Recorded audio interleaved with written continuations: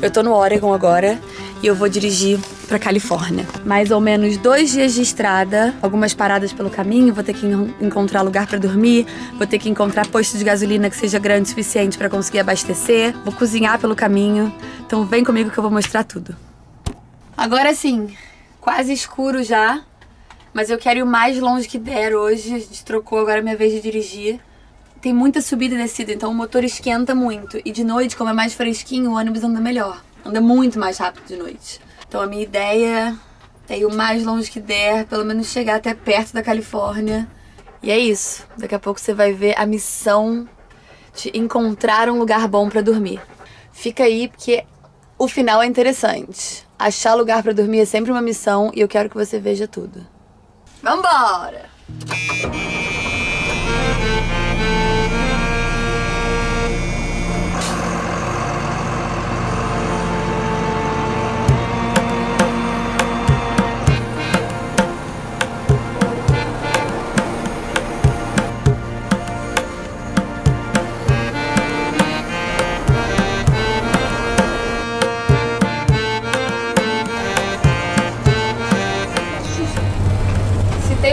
Que esse ônibus sabe fazer é tomar todo o combustível que a gente Esquerda. coloca nele. Esquerda.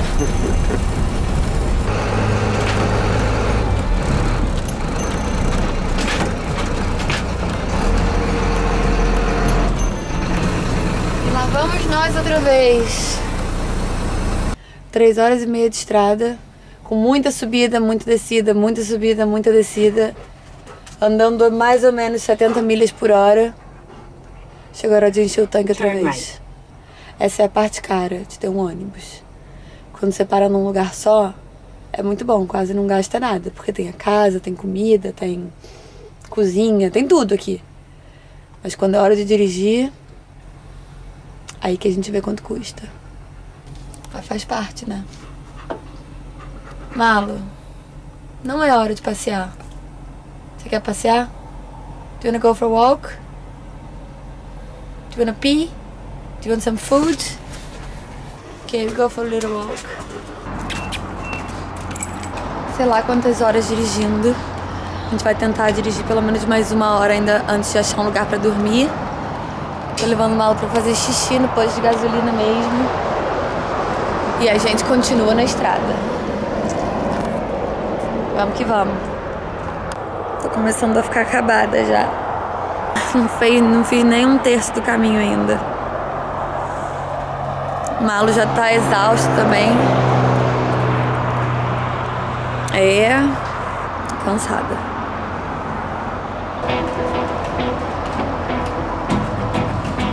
Vamos? Continuar? 125 dólares. Já foram 250 dólares. E a gente está ainda em um terço do caminho. Vai ser caro esse negócio.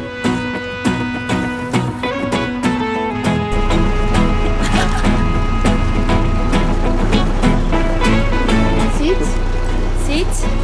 Chegou a hora da loucura. Resolvi fazer minha aula de francês e o mal já tá cansado da estrada.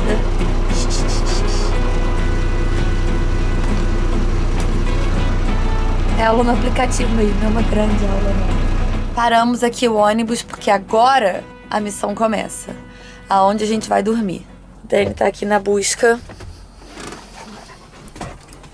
de um posto de gasolina que seja seguro ou uma truck stop, porque aqui tem muito isso, né, dos Estados Unidos. Nas estradas tem muito caminhão e aí tem lugares para os caminhões é, estacionarem de noite pra galera que tá dirigindo dormir. E aí, como o ônibus é enorme e é um caminhão, às vezes a gente só vai para um lugar desses e estaciona e dorme, tá tudo certo.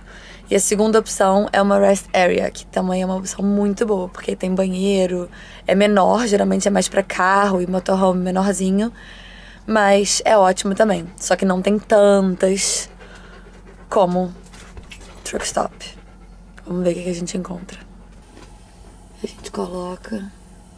Ó, tem algumas. Na verdade, é fácil de achar.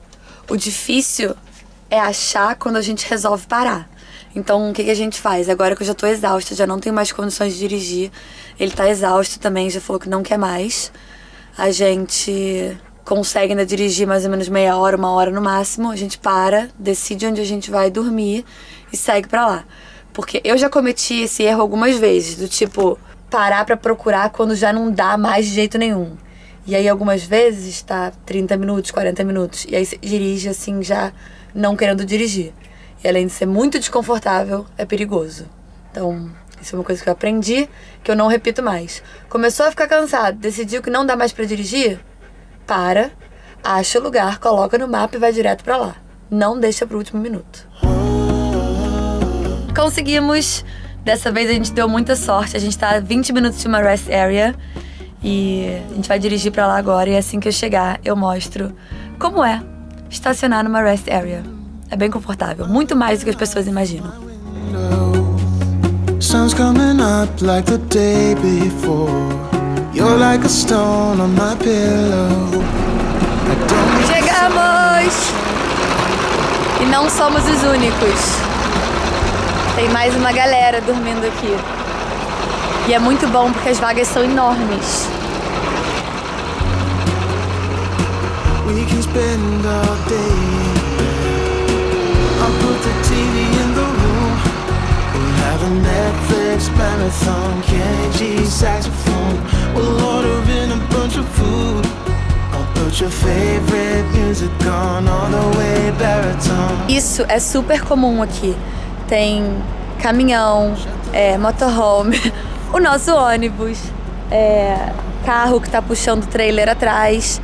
E aí, do outro lado, ficam os carros. Ali são os carros, o pessoal que está dirigindo de madrugada, cansou, quer dormir um pouco, não quer parar num posto de gasolina, vem aqui e para. E aí pode usar toda a estrutura. Tem uma casinha ali que dá para comprar uma comida, tem umas máquinas de refrigerante, banheiro. É ótimo, super seguro, tem segurança a noite inteira. Eu me sinto super tranquila dormindo aqui. E é isso.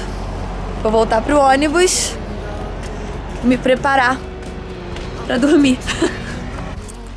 Agora eu vou começar a me preparar. Fechar a porta. Eu adoro isso aqui do ônibus, esses botões todos. Aqui que funcionam as luzes. E esse foi o meu dia na estrada. O olho já tá fechando quase de tão cansada que eu tô.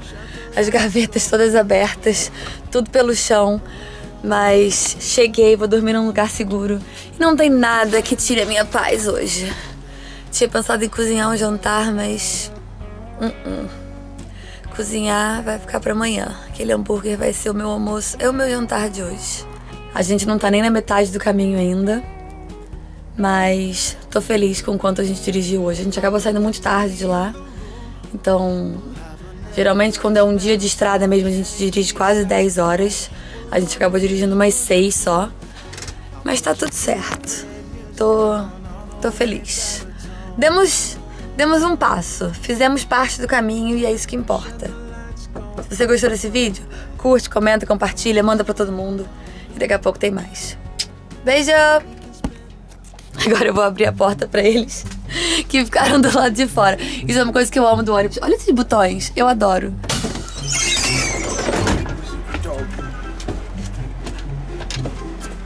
O Malo parece estar tá meio, meio agitado para dormir, mas ele vai ter que dormir. Ah, mas esse cachorro vai dormir. Agora a gente vai só colocar isso aqui na frente para ninguém ver aqui dentro do ônibus. E vamos dormir. É isso. Espero que você tenha gostado de acompanhar. Comenta, curte, compartilha, manda pra todo mundo. E daqui a pouco tem mais vídeo. Beijo!